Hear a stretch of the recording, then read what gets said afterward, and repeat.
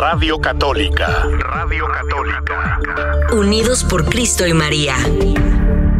Alimentando a las familias espiritualmente. Muy buenas tardes, señor Luis. ¿Cómo se encuentra en este primer lunes ya del mes de marzo, el mes de la primavera, en el, el día 20 de la cuaresma? Estamos hoy exactamente a la mitad de este tiempo de conversión. ¿Cómo está?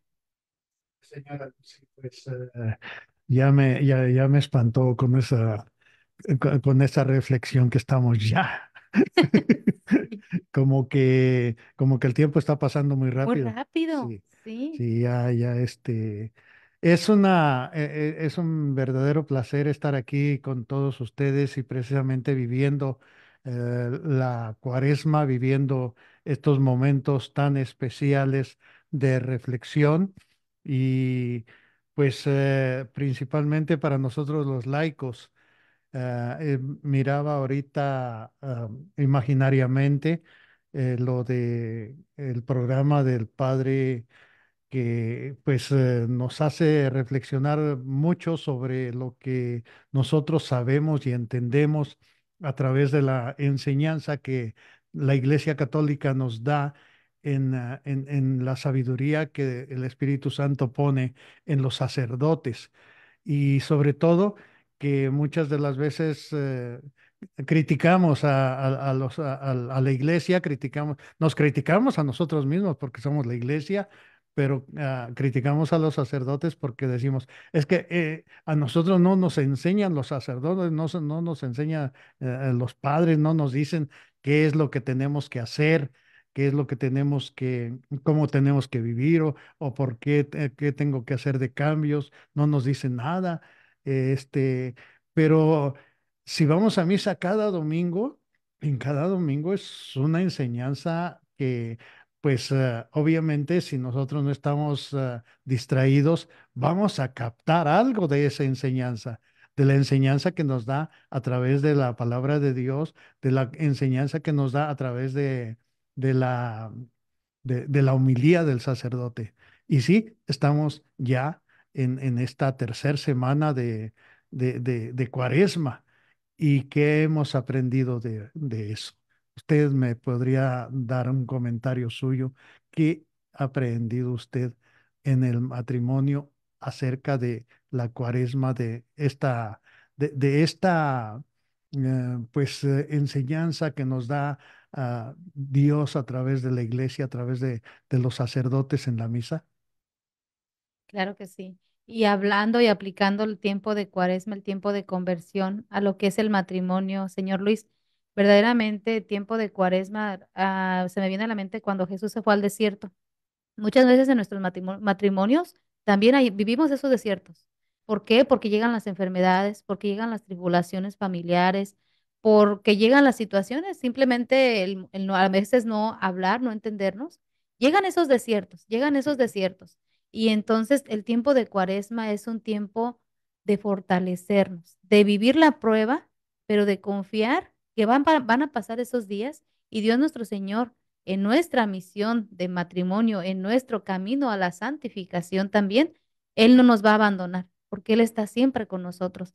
Pero ahora nuestro mayor reto es nosotros no soltarnos de Él en los momentos, en esos momentos. Exactamente. Y precisamente hoy, señora Lucy, el tema de hoy es la misión del matrimonio. Y esta misión del matrimonio, pues eh, nos ah, debe de, traer a la mente que el matrimonio es instituido por Dios. Entonces, desde Génesis capítulo ah, ah, 2, capítulo primero, en Génesis capítulo primero, ah, versículo 31, nos está diciendo que Dios hizo todo, hizo al hombre y vio que todo es, es muy bueno. Y si, to- si Dios hace algo, lo hace muy bueno. Esto incluye el matrimonio.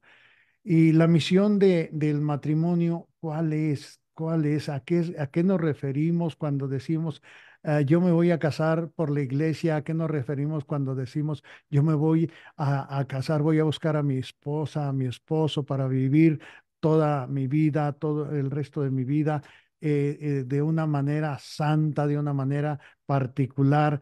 Bueno, nos referimos a que nosotros tenemos una misión en el matrimonio. La misión que Dios quiere que nosotros vivamos no es una misión de, eh, de solamente casarnos y vivir una vida feliz, una vida sin problemas, sin, ah, sin, ah, ah, sin toma ni daca. No, no. Es una misión que tenemos que ver tanto el hombre como la mujer como algo que realmente, en algo que realmente nos comprometimos en el, día de, de, la boda, el día del matrimonio, el día que, que aceptamos a la esposa, que aceptamos al esposo en el altar. Ese compromiso no es solamente con la mujer o con el hombre, ese compromiso es con Dios. Eh, y es eh, muy, eh, muy impactante el ver cómo a veces vivimos la cuaresma en el matrimonio, la vivimos ah, como, ah, no como, no como una vocación fundamental, porque el matrimonio es una vocación fundamental en los planes de Dios la vivimos de una manera superficial, una manera que, que nos va llevando hacia, eh, hacia lo, donde el demonio quiere. ¿Y dónde quiere que el demonio estemos? En el matrimonio. Quiere que estemos en la parte más ah, ah, inferior sobre lo que es realmente el amor, el amor o sea, alejarnos de Dios, alejarnos de la, de, la gracia. El hombre es creado a imagen y semejanza de Dios. En el matrimonio cristiano, los cónyuges siguen el ejemplo del amor y la autodonación, si me permite usted esa expresión de autodonarse, esa autodonación que, mismo Cristo hace, esa autodonación de Cristo al darse a sí mismo y servir y servir uno al otro, servir el esposo a la esposa, servir el, el, el, hombre, el esposo a la, a felicidad de, de, la esposa y la esposa a la felicidad del hombre. Pero no tenemos muchas veces la paciencia que debemos de tener para los momentos difíciles, los momentos que acabamos de escuchar al, al, inicio, sino que simplemente nos dejamos llevar por la ira, por el engaño de, de la mentira, que es eh, lo que el demonio quiere que hagamos. Siempre, todo el tiempo, cuando nosotros iniciamos en el matrimonio, lo hacemos de una manera como iniciar el día, como iniciar un día, como empezar en la mañana. Lo hacemos en el nombre del Padre y del Hijo y del Espíritu Santo. Así iniciamos el matrimonio, al darse, al darnos el uno al otro y en, en, en, dentro de la familia, dentro de, de la comunidad.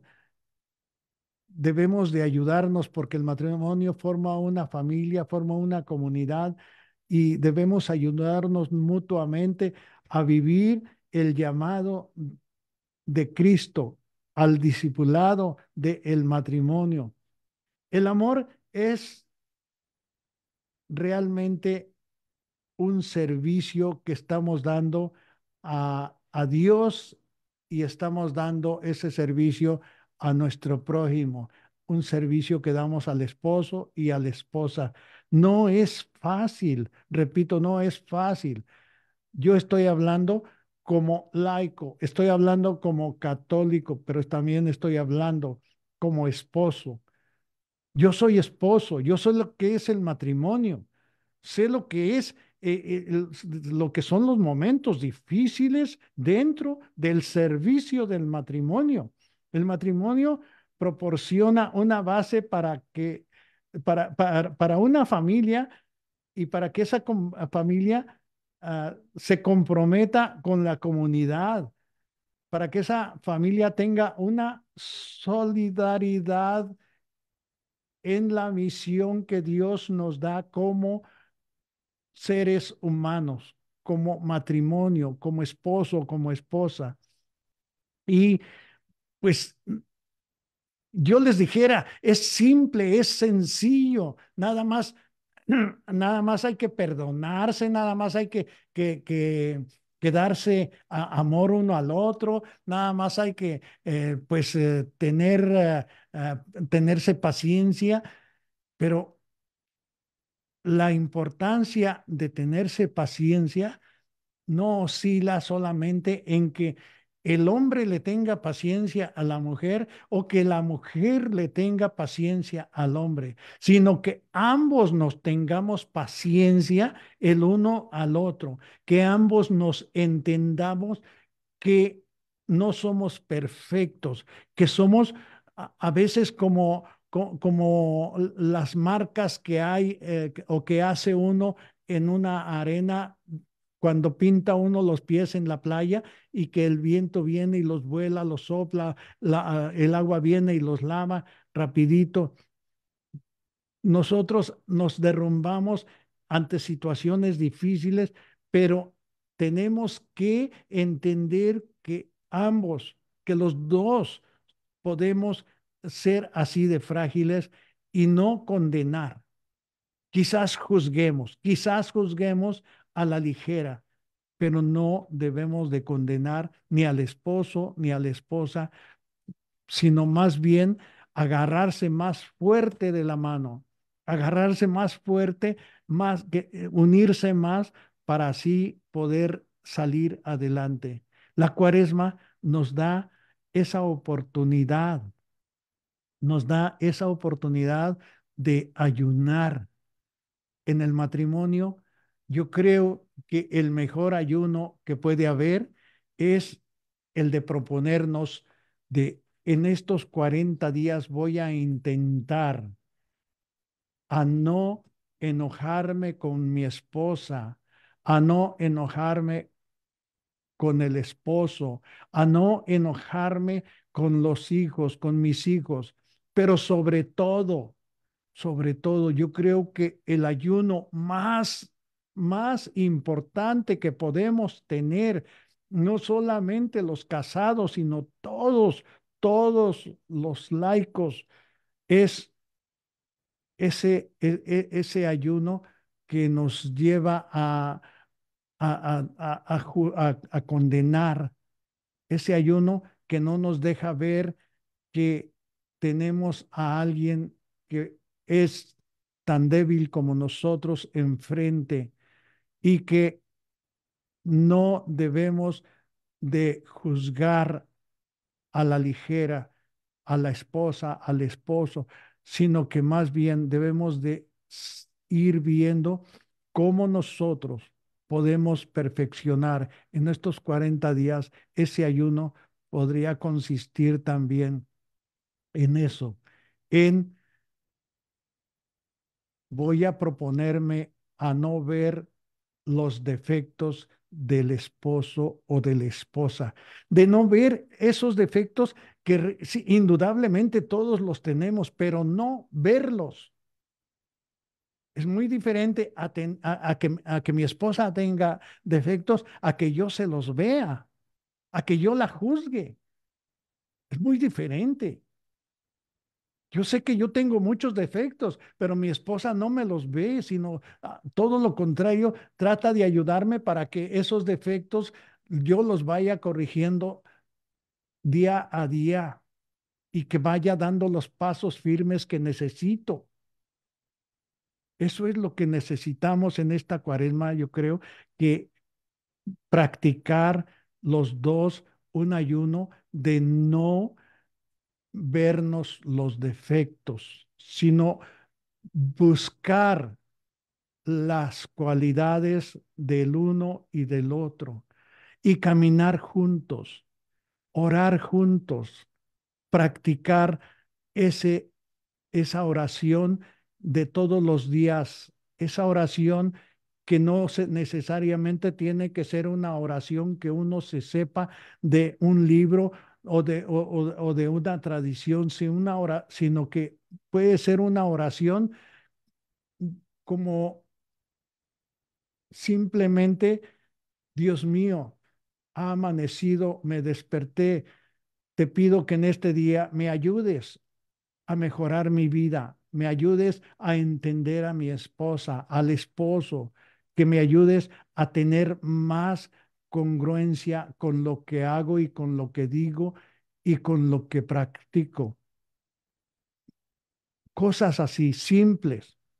El amor entre el esposo y la esposa en el matrimonio refleja el amor de Cristo por la iglesia. Fíjense, esto es muy importante para todos los que estamos casados por la iglesia. El amor entre el esposo y la esposa no es simple, no es un, simple matrimonio de, de, de, que se, se casaron y ya, no. En el matrimonio se refleja el amor de Cristo por la iglesia, el amor mutuo de los cónyuges, de, de los que estamos casados, refleja el propio amor de Dios por la humanidad. Y esto está en el catecismo de la Iglesia Católica. les voy a leer, les voy a leer el, el número o el numeral de la, del catecismo de la Iglesia Católica. Mire, el número 1605, número, perdón, el 1604, 1604, el 1604, por si usted tiene su catecismo, puede consultarlo y dice, Dios que ha creado al hombre por amor, lo ha llamado también al amor vocación fundamental e innata de todo ser humano, porque el hombre fue creado a imagen y semejanza de Dios, que es amor. Habiéndolos creado, Dios, hombre y mujer, el amor mutuo entre ellos se convierte en imagen del amor absoluto e indefectible con que Dios ama al hombre. Este amor es bueno, muy bueno a los ojos del Creador. Génesis capítulo 1, versículo 31. Es muy bueno a los ojos del Creador. Y este amor que Dios bendice es destinado a ser fecundo y a realizarse en la obra común del cuidado de la creación. Y los bendijo Dios y les dijo, sed fecundos, multiplicaos, multiplicaos y llenad la tierra y sometedla. Génesis 1:28. ¿El amor lo instituye en el matrimonio o el matrimonio lo instituye como amor? Dios mismo. Dios es el que hace el matrimonio. Esta no es una invención ni de el Papa, ni es una invención ni de los obispos, ni de los concilios, ni de los sacerdotes individualmente. Esto es un sacramento hecho por Dios. En las escrituras, la comunión de amor de Dios con su pueblo se ve el pacto que forma con ellos, así como en la en, en el ofrecimiento que se hacen los dos, o que se hace Jesús mismo en la cruz. Este, ese ofrecimiento que Jesús se hace en la cruz el pacto de amor en que los cónyuges entran en el matrimonio es el mismo impacto, es el impacto que se refleja en el amor que Cristo tiene por su iglesia, por todos nosotros y su autodonación, su autodonación en nombre de la humanidad. Esto es lo que Cristo hace justamente cuando es crucificado. Por eso es muy importante que durante la cuaresma nosotros reflexionamos o reflexionemos sobre todo en qué posición estamos cuando nosotros nos casamos, cuando nosotros estamos en este eh, camino como matrimonio, como esposo, como esposa. Es muy importante que nosotros reflexionemos en cada dificultad que tenemos, en cada ah, momento de eh, turbulencia, cuando vamos cruzando ese desierto del que eh, normalmente estamos hablando sobre qué es el desierto del matrimonio. Ese desierto cuando no sabemos qué hay el día de mañana o qué hay a la hora siguiente o qué va a pasar cuando ah, yo le diga eh, la siguiente eh, ah, palabra o la siguiente conversación a mi esposa o, o la esposa al esposo. ¿Qué es lo que va a pasar? No lo sabemos. Es un desierto que vamos cruzando y en el que podemos de un momento a otro crear un momento, un ambiente insostenible por los vientos, por las ráfagas de arena que se nos vienen y que no sabemos esquivar, que no sabemos ah, este, eh, capotear para, para poder eh, salir de ese momento difícil. Durante el rito del matrimonio, la pareja intercambia anillos como, como signo de amor y fidelidad en el nombre del Padre, del Hijo y del Espíritu Santo. Por eso es que el matrimonio refleja la comunión y la unión de la Santísima Trinidad. Es algo realmente importante. Como los miembros de la Trinidad, el matrimonio o la pareja unida también se convierte en una comunidad de personas, porque somos dos personas ya. ¿Mm? Entonces, nos convertimos en esa comunidad de personas, así como el Padre, el Hijo y el Espíritu Santo están unidos en, eh, en relacionalidad pura, o sea, es una relación pura, es una relación que de amor, de amor mutuo y autodonación, como lo describe eh, la, la encíclica de Caritas Variate. Si usted no la ha leído, léala. Ahí ayuda mucho también a que entendamos que estamos viviendo en el matrimonio, la caridad en la verdad. La encíclica, la caridad en la verdad, en el número 54, vaya y léala. Y si no la tiene, pues ya se la dije. Así que, pues, eh, pero es mejor que usted vaya y la lea y la estudie, no la lea nada más, estudiela, porque el matrimonio cristiano está llamado a dar de sí mismo el uno al otro todo lo que Dios quiere de ellos, que es amor. ¿Por qué Dios quiere que el hombre le dé amor a la esposa y la esposa le dé amor al esposo? Porque Dios es amor y Dios está entre nosotros.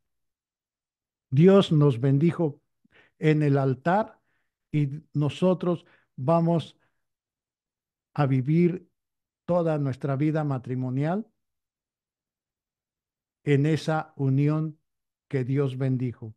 El matrimonio nos prepara para el sacrificio y la autodonación del final de el tiempo. Hermanos, hermanas, busquemos la pureza del matrimonio a través de la oración. Pidámosle a Dios que nos ayude en cada momento, en cada instante, antes de que sea demasiado tarde. ¿Por qué? Porque si no hacemos oración, estamos alejados de Dios. Dios nos está buscando siempre. Nosotros somos los que nos alejamos de Él. Bueno, que Dios los bendiga, que Dios los ah, ayude, que Dios nos ayude a todos en el matrimonio. Les recuerdo que este próximo 23 de abril en la parroquia de la Sagrada Familia, el Padre Cris me ha, me ha ah, dicho que les invite a un retiro solo para hombres, para entender a las esposas, para entender nuestra vida conyugal. Este retiro de solo para hombres es para entender a la, esposa, para entender a la familia, para entender el matrimonio. El Padre Cris me ha, pedido que les invite a todos ustedes. Va a estar allí el diácono José Reyes, que usted lo conoce a través de Unidos por Cristo y María. Va a haber otros, ah, otros diáconos y sacerdotes. Va a haber confesiones también ese mismo día ahí en el retiro. Así que si usted quiere ah, confesarse también ese día, va a haber ah, algunos sacerdotes que van a estar confesando en español y pues a veces preferimos confesarnos con sacerdotes que no, que no conocemos o que no nos conocen, pues ahí está la oportunidad. Y eso no es malo, ¿verdad? No es malo eh, buscar a un sacerdote para mm, relajarse, aunque le confieso que eh, el que nos va a, estar ah, viendo ahí, nos va a estar ah, observando, va a ser el mismo Jesucristo. Así que invitados ya por el padre uh, Cris en la parroquia de la, de la Sagrada Familia de aquí de Modesto, el día 23 de este mes.